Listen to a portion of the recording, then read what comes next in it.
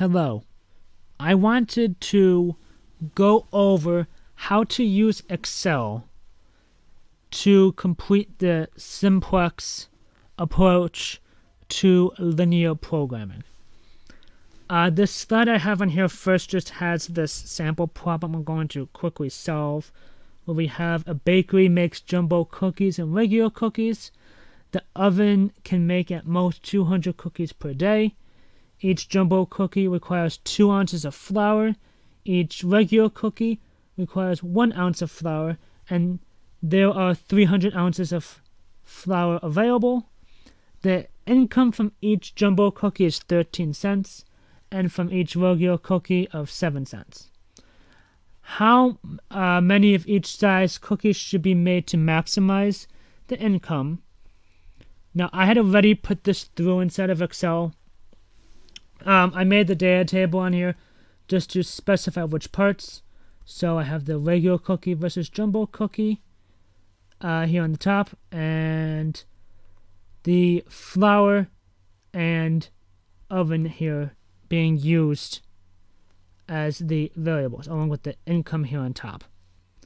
So the 7 cents per regular cookie and 13 cents for each jumbo cookie I have here on the top from a problem that I had on here. And I made this data table based upon what we had in the problem. So the oven can make at most 200 cookies per day, hence why I have 200 here as the max. And it has 2 ounces of flour and uh, for the jumbo cookie and one for the regular. So I have the 1 and 2 on here. And same thing for the other one where there's 300 ounces of flour available. And we have that portion on here as well shown underneath the oven constraints, uh, underneath the flour constraints on here. So to perform the simplex method, especially on newer Excel um, applications, although the older ones should work relatively the same, just a few less steps. Um, in order to complete this, we need to navigate to the top here underneath Insert and get add-ins, since it's not automatically a part of Excel. And in order for us to solve these, we need an applica one of the add-ins called Solver. We type Solver in here, and we want to add the very first one on the top. And asks if you agree to the terms and conditions. Once you put that into there, you will get the add-on. Once it loads, of course. Here we are. The objective function, that's the one that we had there on the top. So just to quickly specify that, this objective function was both of these terms.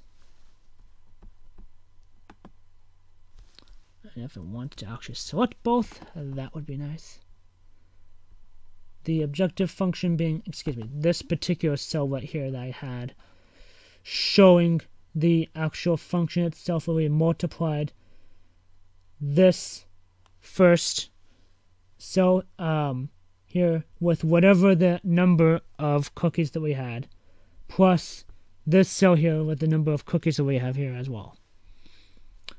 Um, it shows up as a zero in here currently, but that will change once we get through the problem.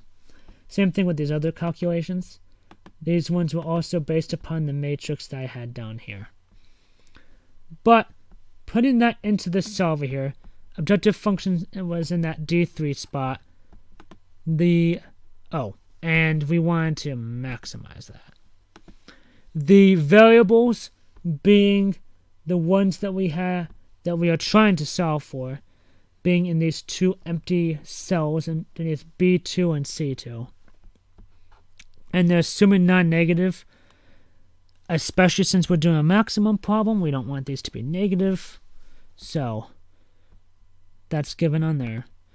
uh, the constraints that I have showing that whatever the value is for D4 here, again based upon the amount of flour per each cookie, needs to be less than or equal to this 300 and then same thing for the oven constraint that one being based upon um, the oven portion for the regular and jumbo cookie has to be less than or equal to that 200 then for this we want to make sure we specify whoops we want to make sure that we specify that we want to use the standard LP slash simplex engine. And then from here we want to hit this, um, yeah, we want to hit this button that looks like a play button uh, for us to find this answer. And if I was actually on the data table, that would be nice. It gives us the values of 100 for the regular and jumbo cookies. It finds specifically the amount that maximum amount, that maximum amount as 20 from the objective function and then the each of these values at 300 and 200 over here.